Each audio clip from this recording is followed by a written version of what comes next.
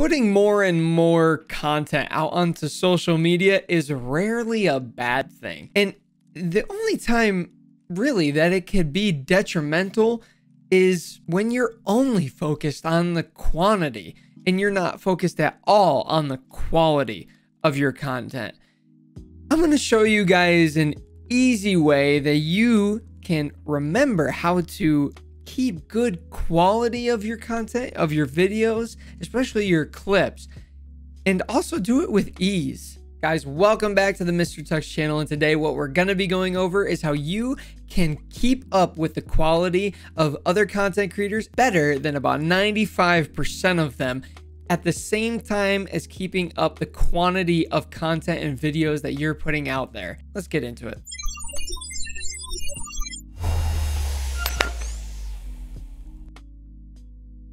So what we're going to do is we're going to break this down.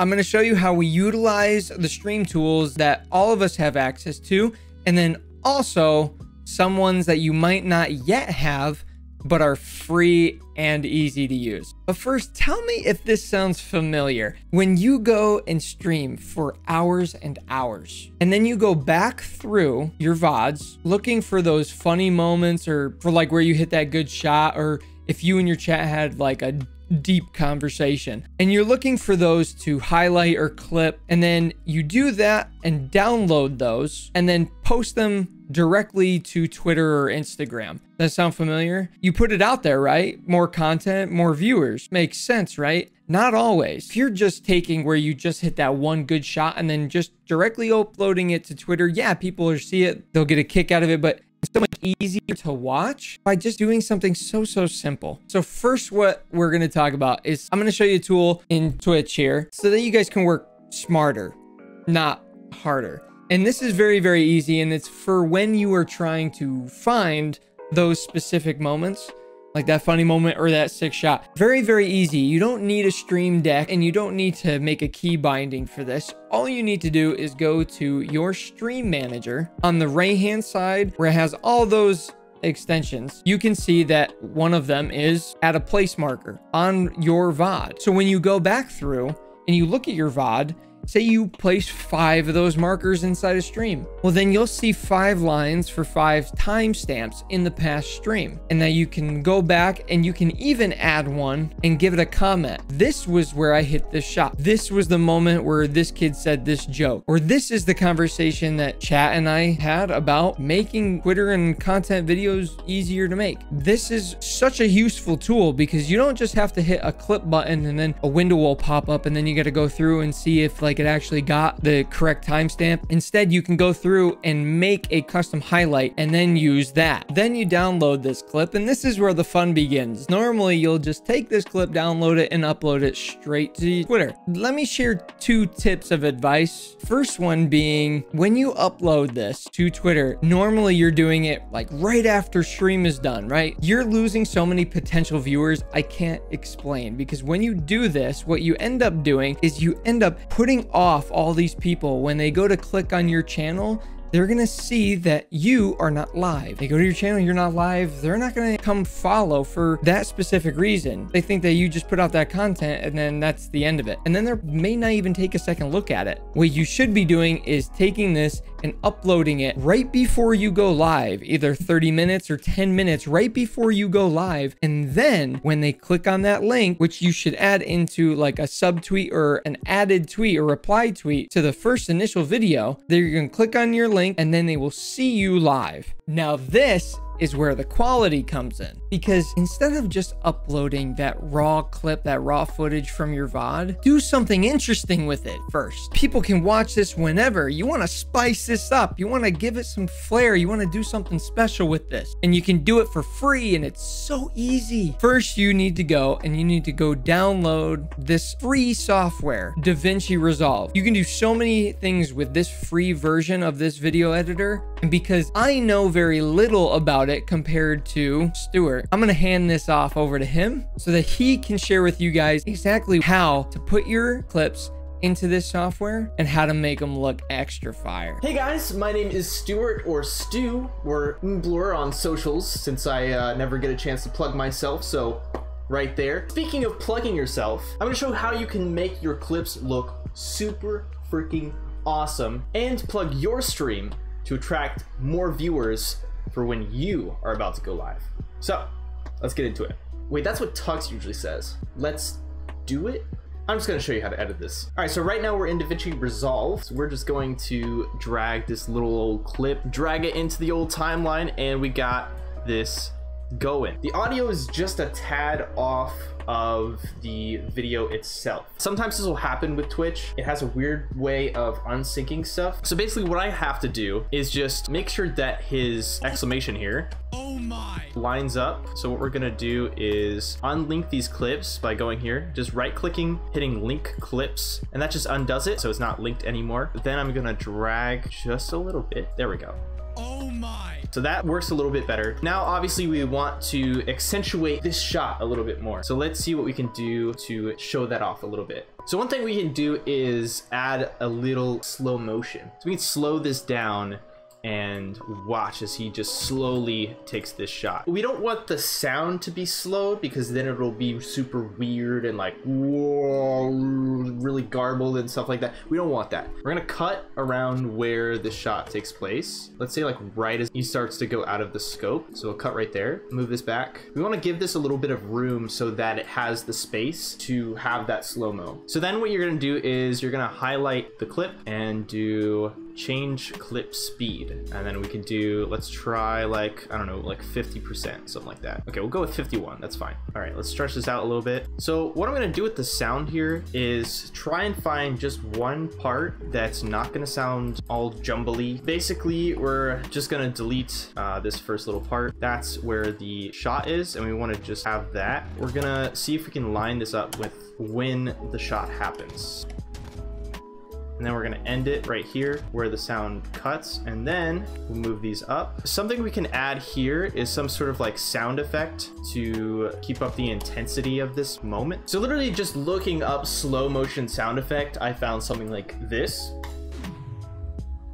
you can just download that you want to make sure that like anything that you use you make sure is copyright free so you don't get any ban hammers all right, so now that we got that sound effect in there, I'm gonna drag it down here, make sure that it's nice and trimmed up so that we don't have to deal with all this blank sound. So let's, that sounds pretty good. I wanna see what the end of this sounds like though.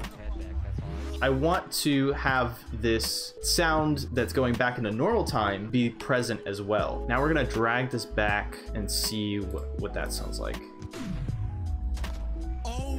it seems like we definitely want that to come in a little bit earlier. So we're gonna trim this and move it just a little bit like that. Let's see what that sounds like.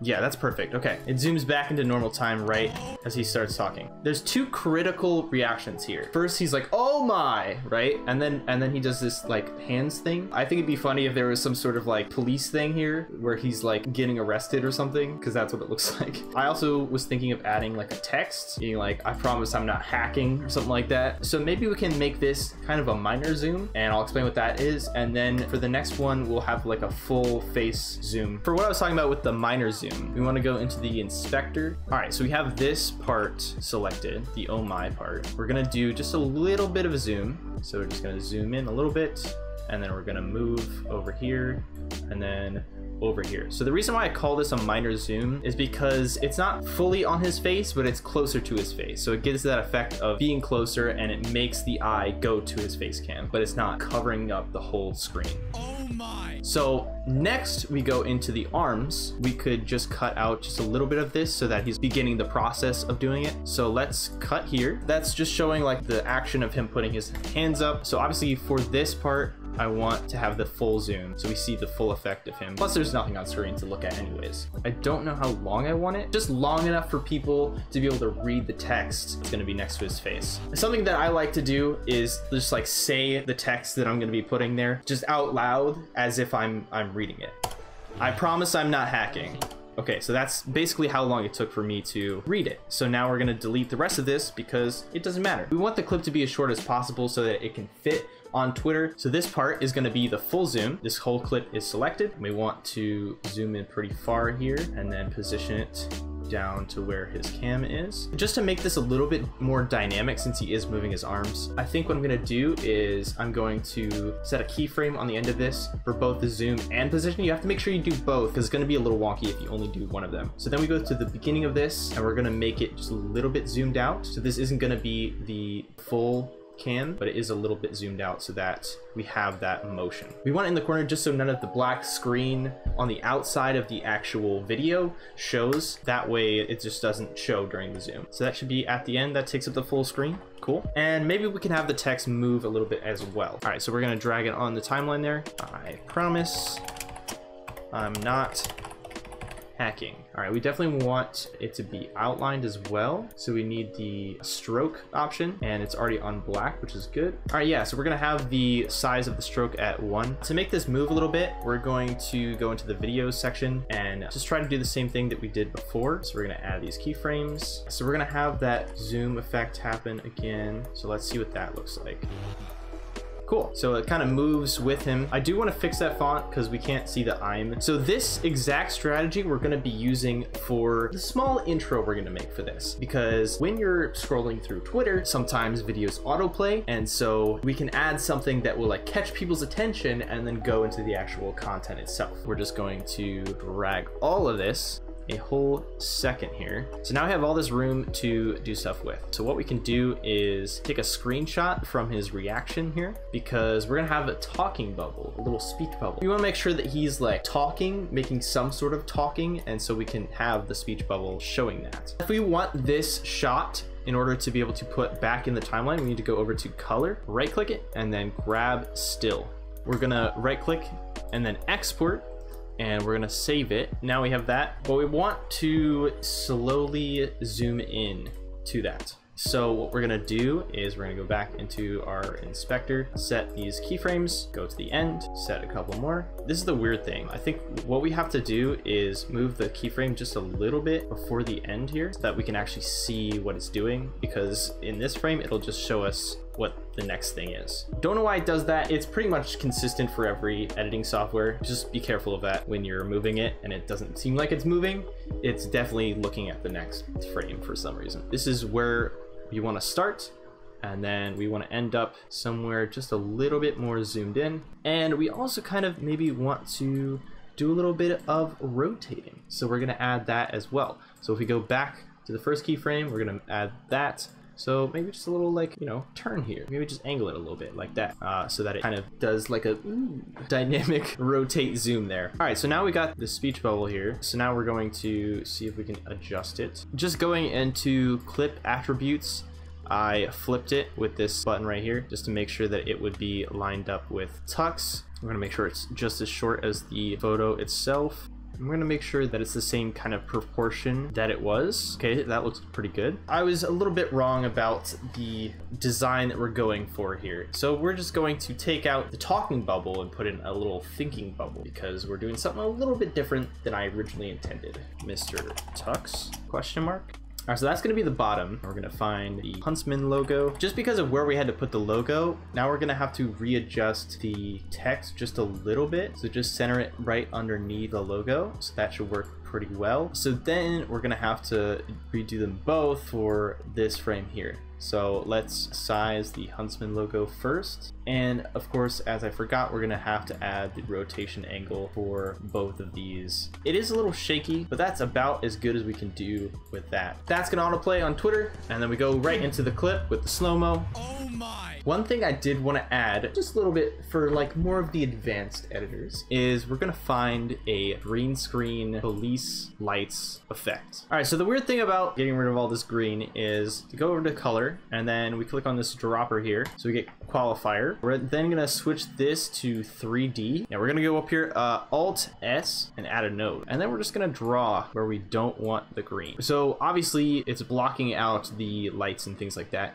but we want those in there. So what we're gonna do is go to invert and then we're gonna see that. So there's a way we can clean that up and we'll do that in just a second. But now we have to actually link these. So what we're gonna do is we're going to add alpha output and then we're gonna drag and connect it right there.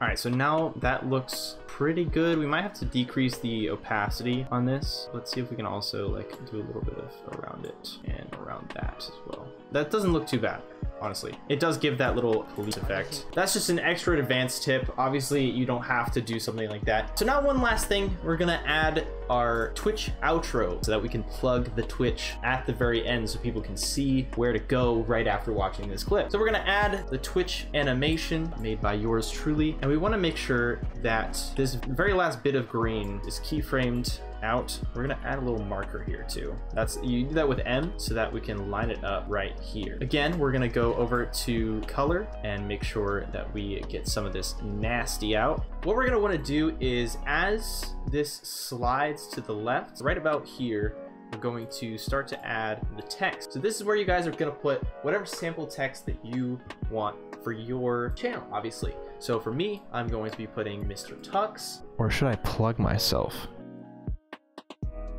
We're gonna plug myself. We're just gonna put slash and then blur. So we want that to slowly appear right here. For the opacity, we wanna go over to the video section. We're gonna add that keyframe. It's gonna land right here on this spot. So we want it to be at full opacity, but definitely need to make it smaller. We want it to start at zero. So there we go, it fades in, and there it is. Thank you guys and send it back over to Tux. So now you guys are professional editors. You're putting out content that is 95% better than any other Twitch streamer out there right now. And also we're going to be keeping this uh, outro around that Stuart showed you guys. It's going to be for free. And if you guys want that, it's going to be in the Discord channel. And uh, there's going to be a link to that down in the description down below. And if you guys ever want to come see me live, if you have more questions about this specifically, you can come follow the channel. I stream every Monday, Wednesday, Friday, and most Saturdays at 7 p.m. Eastern. I'll leave a link to that down in the description as well. And until next time, you guys, keep busy. Oh! What? Are you on the car? Yep. No way. I downed him. I downed this kid. He's right there, crazy. Oh my gosh. How did we just do that?